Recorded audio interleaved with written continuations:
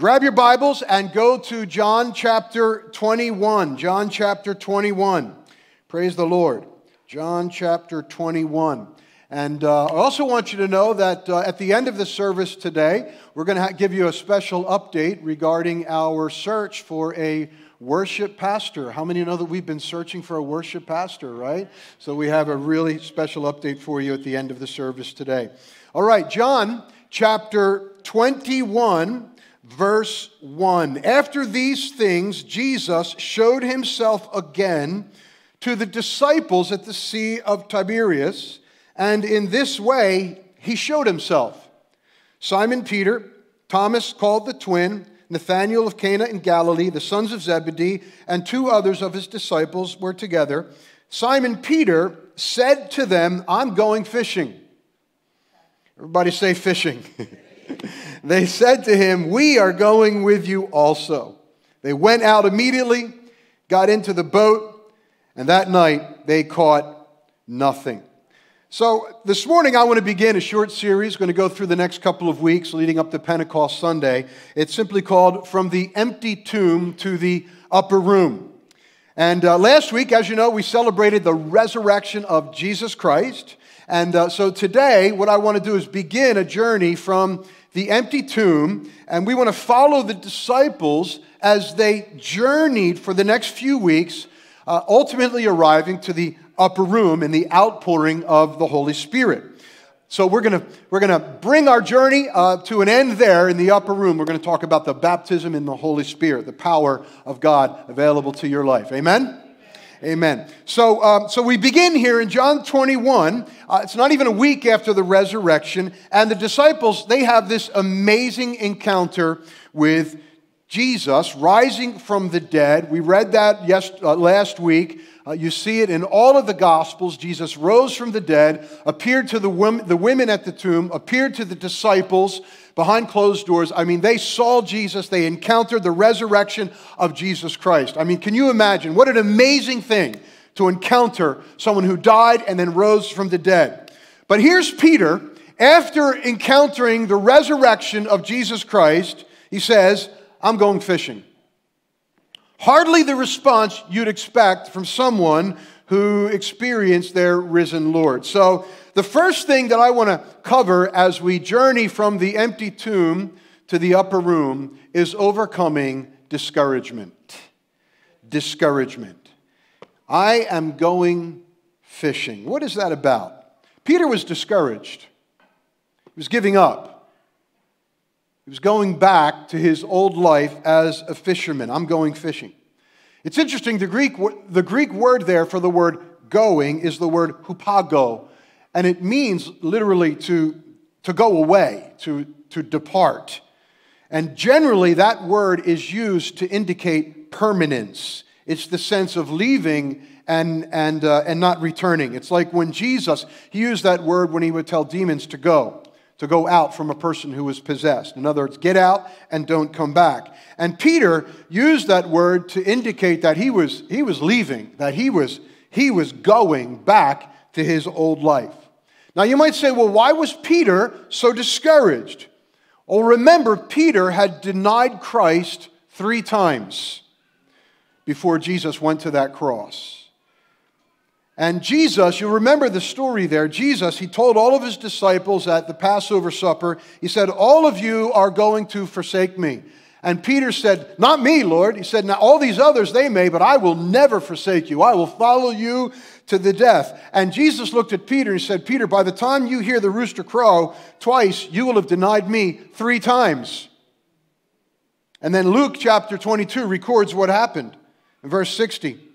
Peter when confronted with knowing Jesus, said, I don't know the man. And while he spoke, the rooster crowed. And the Lord turned and looked at Peter. In that moment, the rooster crowed, the Lord turns, makes eye contact with Peter. And Peter remembered the word of the Lord, how he had said unto him, Before the rooster crows, you will deny me three times. And then verse 62 says that Peter went out and wept bitterly. Peter's discouragement here was rooted in his own self condemnation. He was swallowed up in the shame of feeling like, like a failure, and he was stuck there. He was stuck at that point of failure, and he was unable to recover from it. And not just Peter. In Matthew 25, or 26, verse 56, it says that all of the disciples forsook Jesus and fled. They were all feeling that discouragement and that disappointment in themselves, which brings us to the first truth about discouragement that discouragement is universal. All of the disciples felt this discouragement, just as everyone at some point will face discouragement in their life. If it happened to Peter and the disciples, it'll happen to you and me. Have you ever felt discouraged? Sure. Well, what is discouragement? Discouragement is simply the loss of courage. It's the loss of confidence. It's the, the loss of the ability to have hope. And hope is the expectation of good. So you lose this ability of hope and you lose confidence and you lose the courage to go on and to stay engaged. The dictionary, Webster's dictionary, defines discouragement as the inability to rise above the sadness from the disappointments we all face. And that leads to more disappointment and ultimately to disillusionment and despair. But here's the thing that I really want us to know about discouragement that discouragement is a choice. It's a choice. Because discouragement is really a feeling, it's an emotion that develops within us. Discouragement is not something that someone does to you. Now, I know that we might say to someone, "Well, you've really discouraged me," right? But discouragement ultimately is it's a feeling. It's how you allow yourself to react, that you allow yourself to lose hope, you allow yourself to lose confidence, and you're unable to rise above whatever disappointment it is that you've that you've faced, right? And we all get disappointed. All of us, right? Some of you were disappointed today. Maybe you came up, you didn't find your favorite parking spot, or you didn't find your favorite seat. You came in, right? Expecting to have your seat, somebody sitting in your, your seat. You're a little disappointed. Maybe somebody didn't say hello to you, you know, and so you're disappointed, right? Or maybe it happened at home before you even left the house. Maybe, you know, your wife said something to insult you, or maybe your husband ignored you, right? Didn't compliment your, your dress or your awesome Hudson Valley Leadership Summit. Nobody said anything about that, right? Or maybe it happened at work. You didn't get the promotion that you wanted, or you didn't get the raise that you wanted. We all get disappointed. Things happen or don't happen that we want, right? But how we react to disappointment is a choice. No one determines how you react to the disappointments that you're going, you're going to face. And you can choose to say, well, God is in control of my life. God is in control of my circumstance, right? And I believe that God is working all things out together for the good, even though I didn't get the raise, I didn't get the promotion, I didn't get the parking spot, right? Whatever it is, God is in control of my life, and I choose to have this outlook rather to sink into discouragement and lose my faith and lose my hope, my ability to expect good or to think good about someone or some situation or remain optimistic. Discouragement is a choice. Everybody say a choice.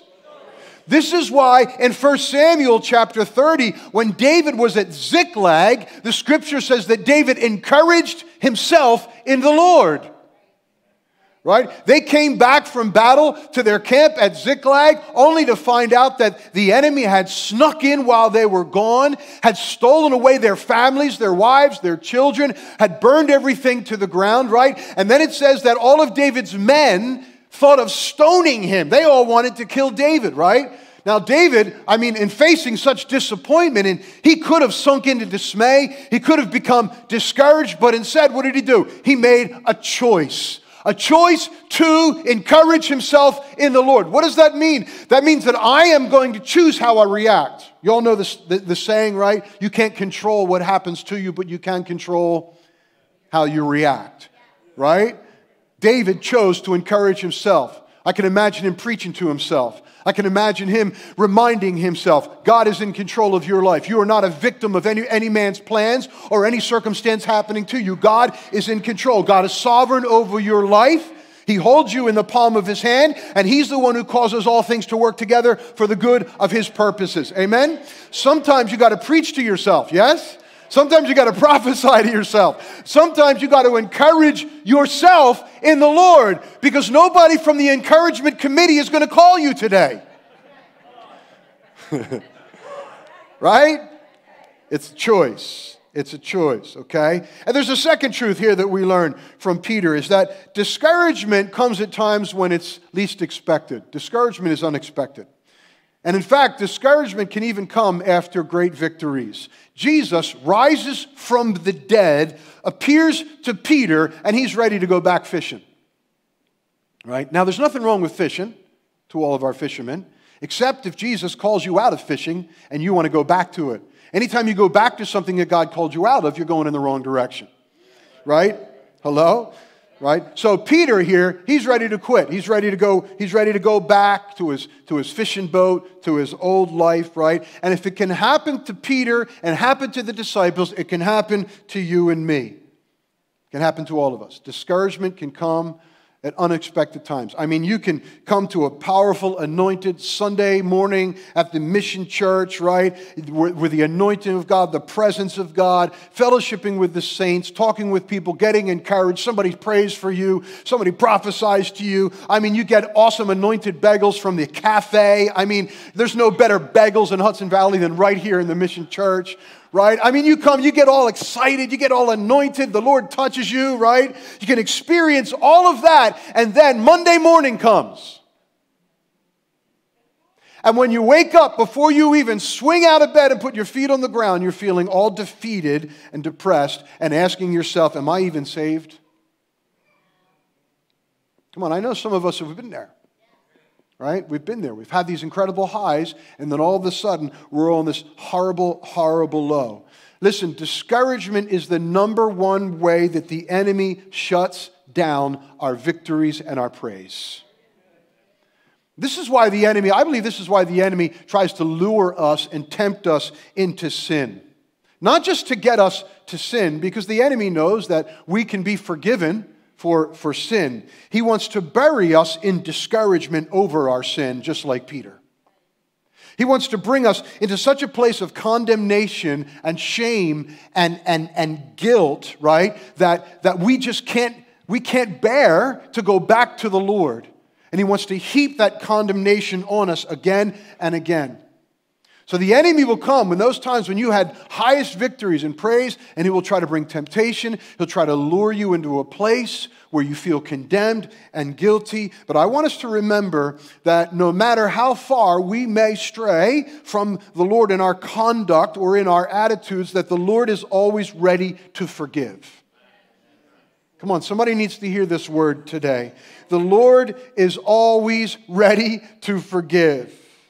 Remember in Mark chapter 16, after that tomb was empty and the angel was there at the tomb and said to the women, He said, Now go your way. He said, and I, he said, I want you to go and, and tell the disciples that Jesus has risen from the dead. And look what he says here Mark 16, 7. But go your way, tell his disciples and Peter. That's what he says. Tell his disciples and Peter that he goes before you into Galilee, and there you'll see him as he said to you. Amen. Amen. Hallelujah. See, Jesus, the, the, angels, they knew that, that, that Peter was just going to be, he was weeping bitterly over what he had done. That there was that shame, that guilt, that condemnation. But the angel said, You need to get word to Peter that hope is still alive. Amen? Jesus is still alive right? That even though you may have betrayed Jesus, your betrayal is not stronger than his power to resurrect. Amen. And he's still there, he's still available. Amen? Hallelujah. Discouragement is unexpected. Another truth about discouragement that we see from the disciples discouragement is infectious. You can spread your discouragement to others. When Peter said, I'm going fishing, that impulse that emotion, that feeling spread to the other disciples. Well, we're going to go with you. This is especially true if you're a leader. The enemy loves to attack leaders. This is why he always goes after leaders, because he knows that if he can, if he can discourage leaders, he's going to bring leaders into a place, people of influence into a place of hopelessness and bad attitude and miserable outlook, that their attitude is contagious, right? That when they're negative and that when they complain, right, and when they're talking, they're talking trash about other people, right? That attitude is contagious to other people. Amen. Amen. Fourth truth is, is kind of the same. If discouragement is infectious, it's also contagious. What, what's the difference? Well, contagious means that you can catch it from other people. Right? So you can be the one giving, but you can also be the one who's receiving from other people. The disciples were infected. We are going, we're going with you. They allowed themselves to be poisoned by the discouragement that Peter was carrying on himself, and they got into Peter's boat, right? Be careful when you're around people who are always discouraged and disappointed and disillusioned, people who want to complain, people who want to talk negative, because their attitude is contagious. Listen, this is, this is the default to our human nature. Our default is not to be positive. Our default is not to be optimistic and hopeful. Our default is to be negative and to complain. Have you ever noticed that? Amen? Right? Hope is a discipline. Joy is a discipline. It doesn't come naturally, it's something that we have to remind ourselves to do. Okay? And when we get around other people that are complaining and that are negative and that are discouraged, it's easy for us to get pulled into their boat. Be careful you don't jump into the wrong boat. Because discouraged people will always want you to ride along in their boat with them. Because if they can get you in their boat, then you being with them affirms their discouragement. It validates their discouragement. It tells them that they have a right to be discouraged, right? And I want you to know something. When you get into a boat with other people who are discouraged, Jesus isn't in that boat. Amen? I don't care who's in that boat. If Jesus isn't in the boat, I don't want to be in that boat. I don't care if the pastor's in the boat. I don't care if there are a bunch of deacons in the boat. I don't care who's, I don't care if the, the, the pop, most popular person at the office is in the boat. If Jesus isn't in the boat, I don't want to be in that boat. And how do you know Jesus isn't in the boat? Because you're going to hear gossip in the boat. You're going to hear slander in the boat, right? You're going to hear complaining in the boat. And Jesus doesn't get in that boat. And if you're in somebody's boat of discouragement and all you hear is negative and people talking trash, you need to jump ship as soon as you can. Amen? You need to get out of the boat. Tell somebody, get out of the boat. Amen, right? So, just a few points there that we learned about discouragement. Now, how does Jesus bring us out of discouragement? Thank God Jesus didn't leave the disciples, you know, floating around in the lake somewhere, right, all by themselves. Let's look at the rest of the story, verse 4. But when the morning had come now, Jesus stood on the shore, yet the disciples did not know that it was Jesus. Then Jesus said to them, Children, have you any food? They answered, No. And he said to them, Cast the net on the right side of the boat, and you will find some. So they cast. And now they were not able to draw it in because of the multitude of fish. Couple of points here I want to make. First of all, Jesus wants to teach us how to recognize him even when we can't see him. Now, look at verse 4. It says, He waited until morning and then he stood on the shore.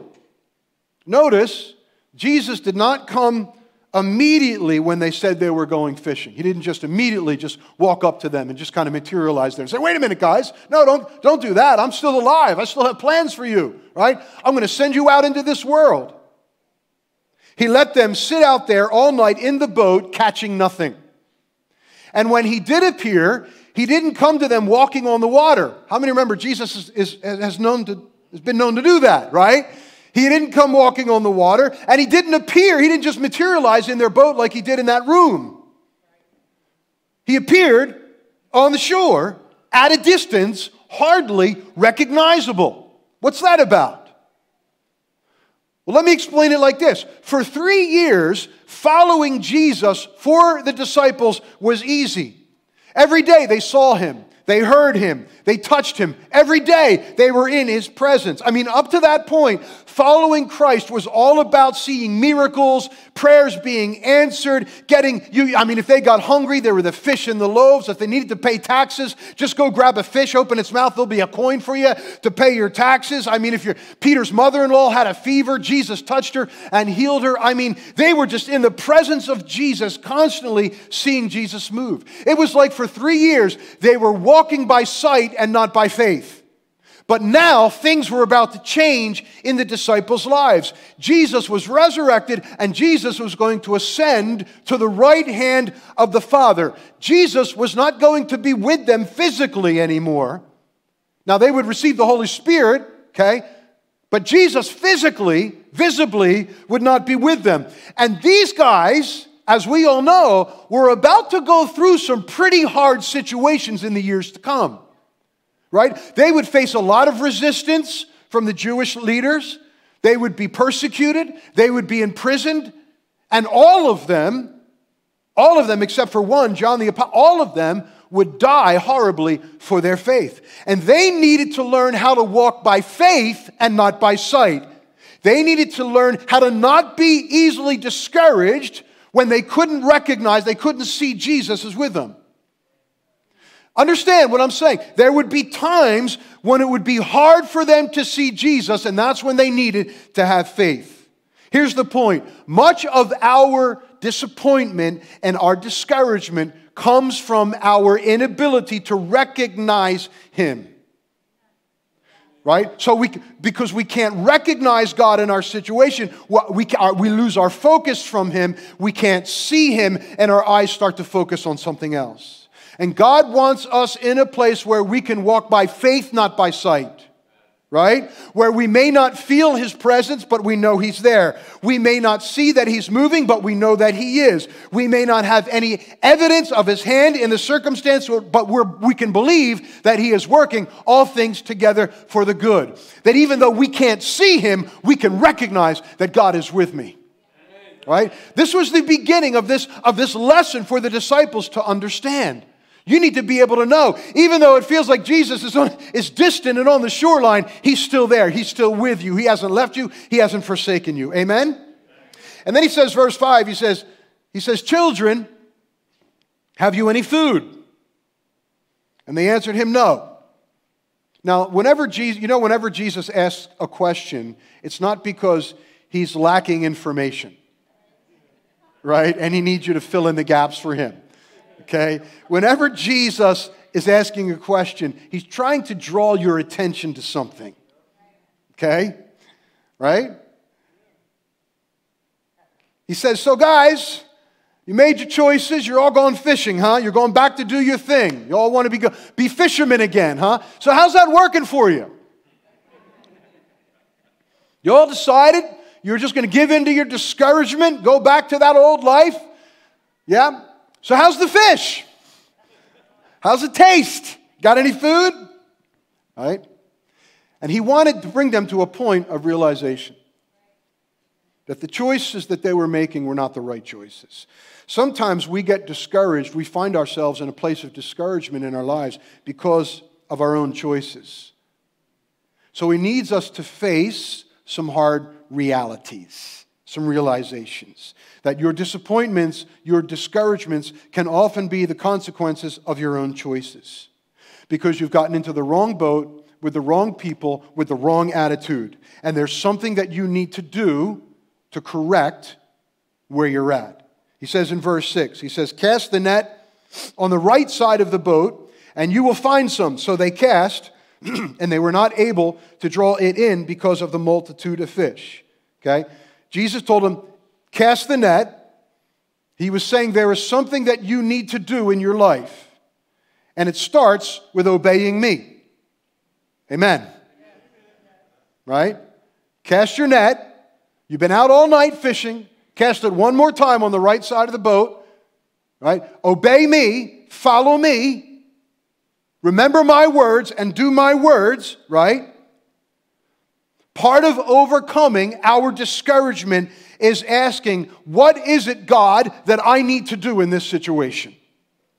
Sometimes we are praying and we're asking God to do something for us, and instead of Him doing it, He shows us what we need to do or stop doing that thing, whatever it is that put us there in the first place. How many are tracking with me? Okay? We need to start doing something we haven't been doing. We need to stop doing something that we've been doing that put us in that difficult place in the first. In other words, make some good choices now that will undo the bad choices that you've made in the past. Can I say that again? Make some good choices now based on my commands, Jesus, based on my words, Jesus is saying, that will undo the bad choices that you've made in the past. There are some things that we may need to change to stop doing and to start doing that will keep us healthy, that will keep us in tune with the Holy Spirit, and keep us victorious over the enemy. Now, listen, I'm not talking about works of the flesh where our salvation is dependent on our works.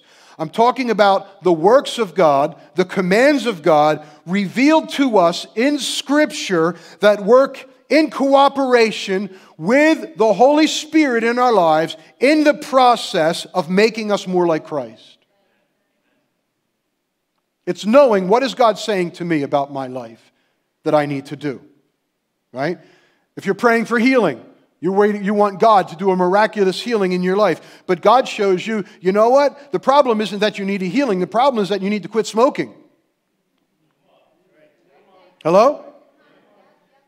I know some of you are thinking, yeah, tell those smokers. Well, maybe it's not smoking, maybe you need to start exercising.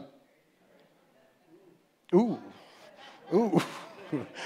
Wasn't expecting that one, PG. Maybe you need to start eating right. All right, now you're just getting too little, going a little too far with this stuff. Maybe you're praying for God to free you from anxiety and stress and, and to give you, you peace. And God starts to show you some of the anger and some of the control issues and some of the resentment that you have towards the people in your life that you need to start forgiving. Maybe you're praying against loneliness in your life, and God starts to show you you need to start changing an attitude that's driving people away. Maybe you're praying for your marriage. God shows you things that you need to change in the way that you speak to your husband, or things that you need to change in the way that you speak to your wife. Hello? Amen? Right? What are some of those things that we need to do to undo choices, good choices we need to make based on God's word that will undo some of the bad choices that got us to where we are in the first place? Amen. Now, I don't know what you may need to do in your lifetime to in your life to overcome, but this is why we need to be in his word. I cannot stress this enough. You need more than what you can get in a sermon. You need to be in the Word of God every day. Hallelujah. Because listen, you may not be able to see Jesus with your physical eyes. He may feel distant from you, but as long as you have His Word open and before you, God is speaking into your life. Amen? right? And you need to be able to hear Jesus when he says to you, cast the net on the right side of the boat. Some of us aren't hearing cast the net on the right side of the boat because we're not in a place where we're hearing his word. And you're thinking if you can just come to church and hear a sermon, then God's going to give you what you need for the week. It doesn't work that way. Okay? All right? This is all you're getting today is just like it's just an add-on.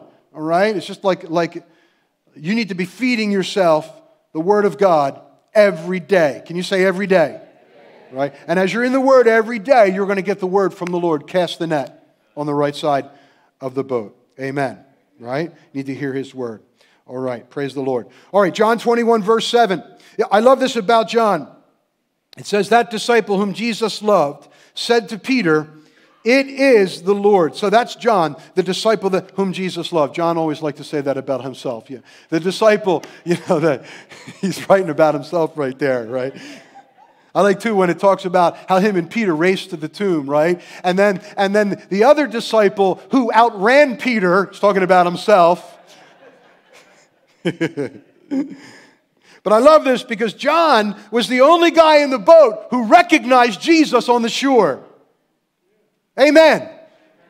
Keep your eyes fixed on Jesus. Now, it's, it's good that, listen, it's good to have people in your life who can remind you to keep your focus on Jesus. Isn't that good? Amen?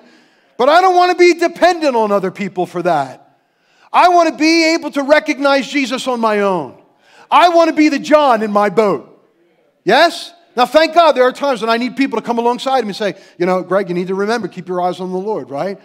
Amen. But we need to all get to that place where we can recognize Jesus and we're not dependent on other people. Verse, verse 7 when, Pete, when Simon Peter heard that it was the Lord, he put on his outer garment, for he had removed it, and plunged into the sea.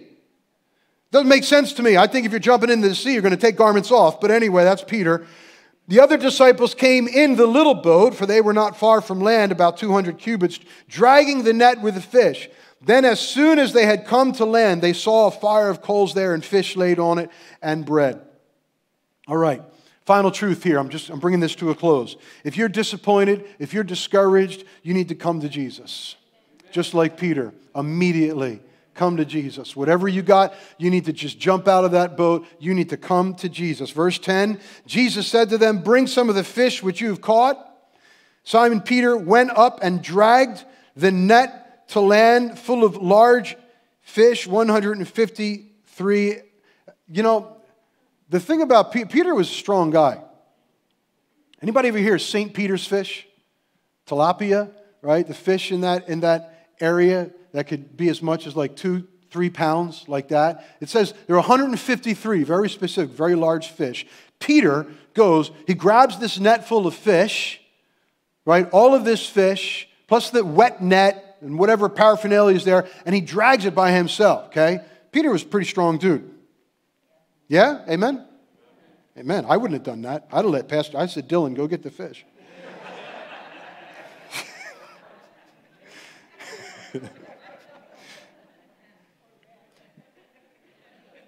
153, and although there were many, the net was not broken. Jesus said to them, Come and eat breakfast. Yet none of the disciples dared ask him, Who are you?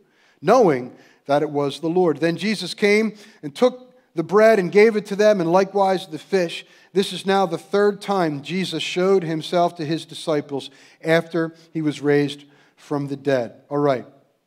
Last point I want to make, we're going to close. Bring the fish.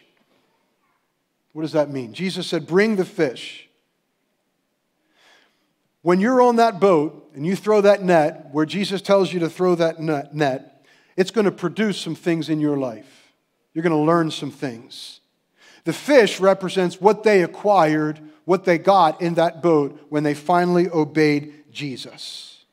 The greatest lessons that we will learn about life are the lessons that we learn from overcoming discouragement. When things are going well, everything's working out in your life, you're not really growing. You're not really getting stronger. But when you're in a struggle, and when you're discouraged, and when you're in that boat, and you're about to lose your hope, and yet you push through, and you pray through, and you stay firm, and you keep praising, and you keep worshiping, and you keep showing up, and you keep serving, and you keep fighting the fight and you keep confessing your joy and your hope, that's when you grow. That's when you get strong. That's when you get smart and you learn the best lessons of life. I want you to know something that disappointment can be a gift. Hello? When, when, you, when answered prayer comes, that's not when we learn. It's when the answers to our prayers don't come. That's when we have a chance to grow. Faith is not what happens when you get what you want. Faith is what happens when you don't get what you want, but you keep showing up, staying faithful, and praying through. Right? Disappointment is a gift, right? So Jesus says, Bring the fish. What does it mean? It means all that stuff that you've learned while you were in that boat, those lessons, bring it with you because the things that you've learned in that, in that boat, in your time of disappointment, they're going to feed you as you journey toward the upper room. Tell somebody, bring the fish. Disappointments are a gift. Hallelujah. Father, we thank you for your word today. We thank you, Lord God, for The disappointments that come, Lord, we recognize that they're a gift. They're an opportunity, Lord, for us to refuse discouragement and to instead choose joy. Choose peace of mind. I pray, Lord God, that you'll help us. But Lord, I know that there are some that struggle with discouragement even here, circumstances, Lord, that come into their life. I pray, God, that this word will help them to remember that you will never leave them nor forsake them. That even if you're distant on the shore and hard to see, that, Lord, we can recognize that you're with us. Hallelujah.